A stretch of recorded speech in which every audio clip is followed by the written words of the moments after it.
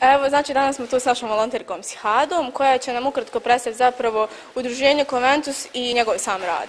Dakle, Sihada, možeš nam reći pre kojeg udruženja opet dolaziš i općenito s čim se samo udruženje bavi? Udruženje mladih Konventus iz Bosanske Krupe koje ja večeras predstavljam Pored svih svojih aktivnosti, već deset godina se bavi i humanitarnim radom, odnosno organizuje humanitarnu akciju pod nazivom Bajrem za sve.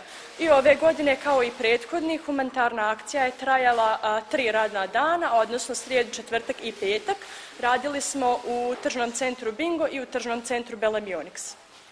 E, dakle, kao što znamo, samo udruženje Komentus je zapravo pri kraju sa svojom volonterskom, tačnije humanitarnom akcijom. E, možeš nam reći općenito koliko je sama akcija ove godine e, prikupila volontera i koliko ona sama po sebi trajala? Akcija je ove godine imala ukupno 20 volontera, ponekad i više. Najmlađi član našeg tima ima samo 13 godina, ostali članovi su uglavnom studenti i srednjoškolci koji su pored svih svojih obaveza našla vremena da i ove godine i u ovakvoj situaciji dakle pomognu nama da odradimo humanitarnu akciju na najbolji mogući način. Dobro, e, hvala si Hada. U svakom slučaju upoznati smo sa samom situacijom e, vezanom sa COVID-19. E, dakle, koliko ste vi zapravo zadovoljni s obzirom na ovom čitavom situacijom odazivom građana? Da li mislite zapravo da su građani, reći, na neki način odradili svoju građansku dužnost? Ja smatram da su građani ove godine znači izvršili u potpunosti svoju građansku dužnost, toliko su znači bili odani ovom pozivu i toliko su nam pomogli jer bez njihove pomoći ne bismo uspjeli napraviti odnosno skupiti namirnice za 120 paketa što je dovoljno za nekih 120 ili više porodica, možda budemo imali više paketa, znači vidjet ćemo večeras kada se sve spakuje i kada sve izbrojimo. Što se tiče građana, znači njima prihoda pripada posebna zahvalnost i mi im se iznimno znači zahvaljujemo svi. U redu si. Hada, evo, imaš još nešto da nam dodaš za neki kraj, neku poruku, zahvalu, nešto slično? Znači, već sam se zahvalila našim sugrađanima i još jednom ću, pošto najveća zahvalnost, pored svih članova, odnosno volontera našeg tima, pripada i građanima, bez kojih to ne bismo uspjeli. Ja bih samo poručila, znači, da i sljedećih godina, ako Bog da budu uz nas kao što su i ove godine i u ovakvoj situaciji. Zahvalila bi se i ljudima, odnosno osobama iz dijaspore koji su prije bili članovi našeg tima i ove godine su nam novčano pomogli da prikupimo pakete. U redu, Sihada, mi vam se evo e, za kraj zahvaljujemo i nadamo se da će i u narednim akcijama odaziv građana biti ovako velik i stvarno mislimo da je ovo jedan zapravo velik kurizitet s obzirom na čitavu ovu samu situaciju. Eto, još jednom se mnogo zahvaljujemo i nadam se da se vidimo drugom prilikom. Hvala vama što ste došli i vidimo se naravno. Evo, znači danas smo tu sa još jednom volonterkom udruženja Komentus. E, znači, možete nam se prvo predstaviti, reći koliko imate godina i koliko zapravo e, ste u samom udruženju. E, moje ime je Bapić Ilmo, imam 21 godinu i ovo mi je prvi put da sam sa vama tu. Evo, pošto nam imamo već samo pa bi rekla da je ovo prva godina, možeš s nama podijeliti neka tvoja prva iskustva, kako je te bilo kroz ova protekla tri dana? Pa iskreno i nisam se nadala da će biti ovoliki odaziv. Stvarno sam zadovoljna i zadovoljna sam sa našim građanima koji su ispunili našu dužnost kao nekih svjesnih građana.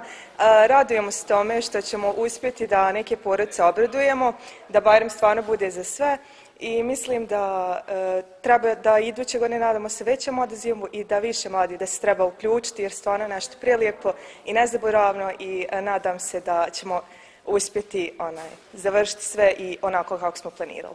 Hvala ti. Evo, možeš nam malo dočarati kako je to teklo između vas sami volontira? Dakle, e, kako je vama prolazi ovo vrijeme? Da li vam je bilo dosadno, da li vam je bilo zanimljivo? E, znači, tvoje neko to e, subjektivno zapravo iskustvo iz čitave ove akcije. Zapravo je bilo stvarno zanimljivo. Upoznali smo puno, dosta osoba, nismo se svi znali između sebe. U trgovini je bilo stvarno zanimljivo. Ljudi priđu, pitaju, mi objasnimo, pomognemo im šta treba. Danas smo imali situaciju da smo i mi pomagali u trgovini nekim ženama. Ono, smatraju nas i radnicima, tu smo već tri dana, stvarno smo bili super, radnici nas e, dočekali kako treba, čak sam donosili stolice da sjedimo, pošto smo cijele dane stojali, za mene je nešto predivno. Dobro, evo možeš nam za kraj reći e, da li je ovo zapravo e, zadnje tvoje volontersko iskustvo unutar ovog udruženja Konventus ili planiraš i da nastaviti rad unutar njega i imaš li nešto još za kraj da poručiš?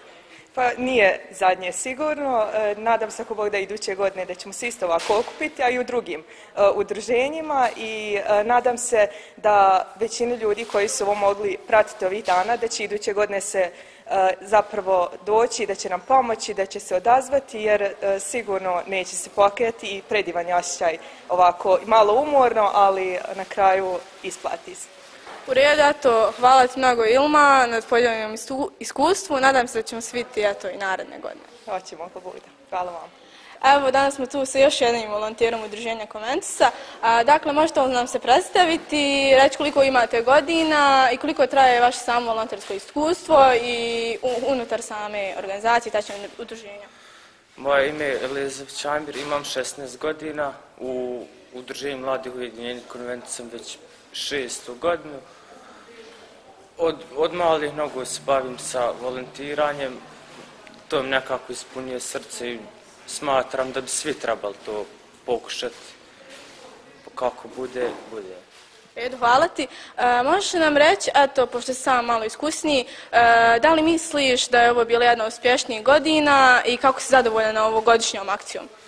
Ovogodišnjom akcijom, akcijom sam prezadovoljan. Jedna od meni draži zato što je dosta novih ljudi, dosta mladih volontera koji nisu bili prethodnih godina, koji stiču s nama nova iskustva i nadam se da će sljedeće godine biti veliko odziv, pogotovo ovih novih volontera.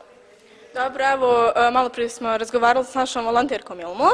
E, ona nam je rekla da je njoj isto bilo divno, pošto ona je to e, nova. Možeš nam reći da li planiraš nastaviti raditi unutar udruženja Konventus i da li ste zadovoljni sa ukupnim brojem namirnica koje ste skupili? Što se tiče namirnica, svake godine približno isto i zadovoljan sam kako i svih godina, tako i ove godine.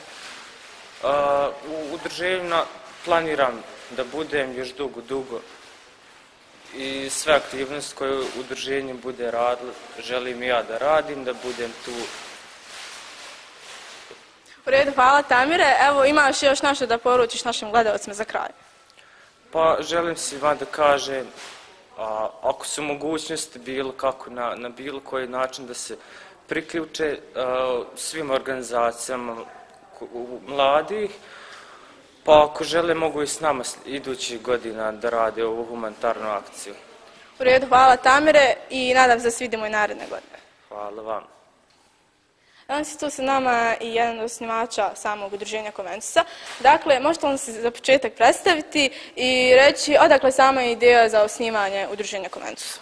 Ja sam Sabahudin Zarović, prvi predsjednik Konventusa, pokretač ideje, zajedno sa ekipom koja je radila sa onog početka. Mi smo pokrenuli Bajramsku akciju otprilike prije 10 godina i evo, na, meni je tako drago vidjeti da se to sve nastavilo i da se prikuplja i dalje za socijalno ugrožene kategorije na području općine Bosanska Krupa. Redu, hvala ti. E, možeš nam također reći koji je sam, sam cilj e, udruženja? E, na čemu zapravo općenito radite? Rade sad omladinci, ali ja, ja, ja više nisam omladinac. Cilj je bio okupiti mlade ljude na području općine Bosanska Krupa, prije svega da se bave nečim korisnim. Jer smo mi svi zajedno se okupili, tako je krenula ideja.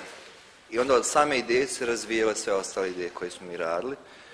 Uh, jedna od ideja je Bajramska akcija u kojoj smo mi bili svjesni situacije u kojoj živimo i da postoje ljudi koji za Bajram sebi ne mogu priuštiti.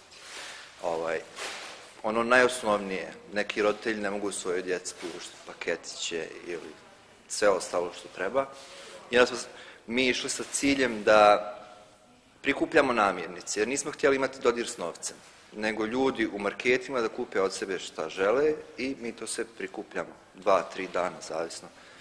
Nekad smo radili dva, sad radimo tri dana i to sve na kraju skupimo, izračunamo, upakujemo u pakete, svake godine je otprilike 100 i više paketa, zajedno sa Centrom za socijalni rad radimo na spisku prikupimo ovaj, namirnice, spakujemo i odnesemo. Dan prije Bajrama se dijele. U redu, pošto ste sami bili eto, osnivač, vjerujemo da ste učestvovali mnogo sami humanitarnih akcija. Možete nam reći to neko vaše subjektivno mišljenje, iskustvo, kakav je osjećaj kad se zapravo ode na teren uh, kod ti svi porodica, kakav osjećaj izaziva to na vama? Na meni lično to je osjećaj, ne, teško je opisati taj osjećaj kada, kada pomognete nekome, kad znate da ste pomogli. I kad sad taj trud koji smo mi zajedno ulagali i dalje ulažemo da pomognemo nekome, vidite da se isplati kada odete u kuću koja je neuslovna za život, u kojoj je, na primjer, samohrana majka sa petero djece i kada ih vi usrećite, nema ljepšeg osjećaja od toga.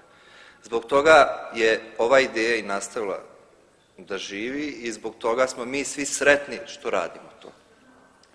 Evo, također upoznati smo sa činjenicom da ove godine imamo velik broj e, novih volontera. Dakle, e, kako ste zadovoljni sa ovogodišnjim radom Udruženja Konventusa? E, kako je to vaše mišljenje općenito o sam, samom prikupljenom e, i namirnicama i samo drugom? Super, sve je super, ja sam prezadovoljan.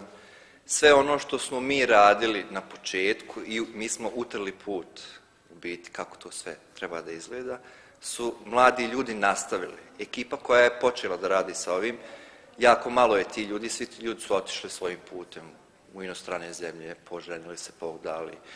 Neki od njih su mi slali novac ovaj, da kupim ja namirnica. I sad kad ja dođem i kad gledam vas, ovaj, kako vi radite sve ono što su mi radili, meni je srce puno, a vjerujem i svim ostalima. Evo, Sabahudin je sa nama podijelio svoje dugogodišnje volontersko iskustvo.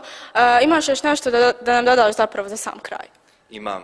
Ja se u ime Konventusa i svih nas volontera zahvaljujem svim ljudima koji su pomogli u ovoj akciji.